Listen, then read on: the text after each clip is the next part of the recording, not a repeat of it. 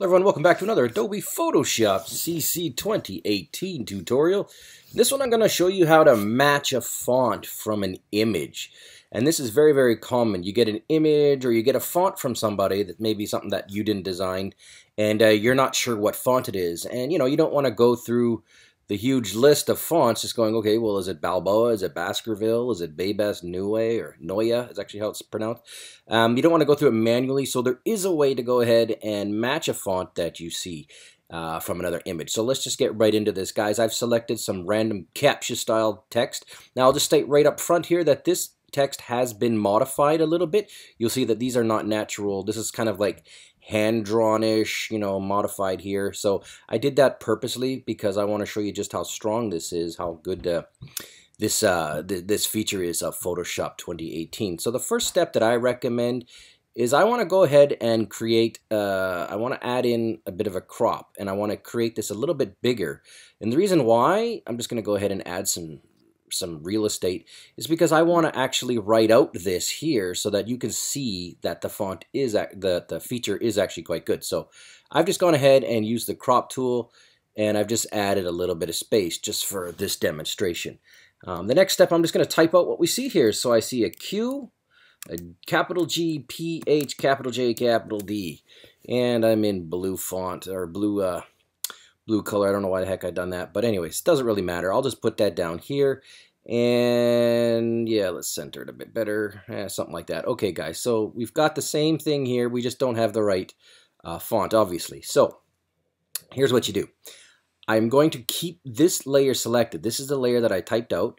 And now I'm going to go up to the marquee tool. In this case, we're going to use the rectangular marquee tool because we're going to draw a rectangle around the type here.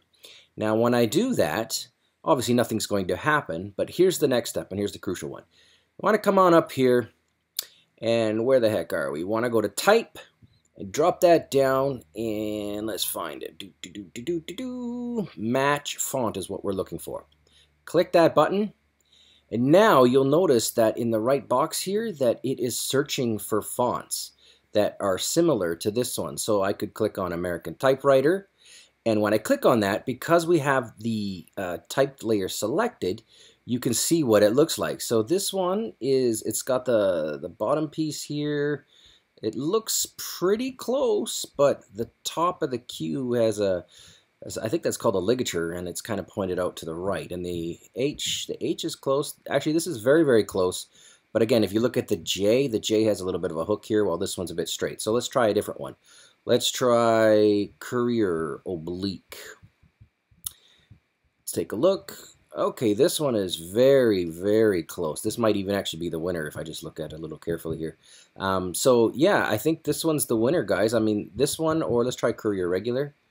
Oh, Courier Regular is good. Courier Oblique has a has a uh, has a forward uh, slant to it, where Courier Regular is is upright. So maybe it's Courier Regular.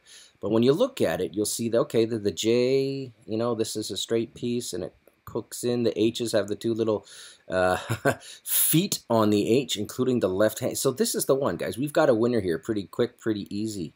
But this this is awesome for those of you that get all this that get images or you download an image and you don't know what the hell font they're using.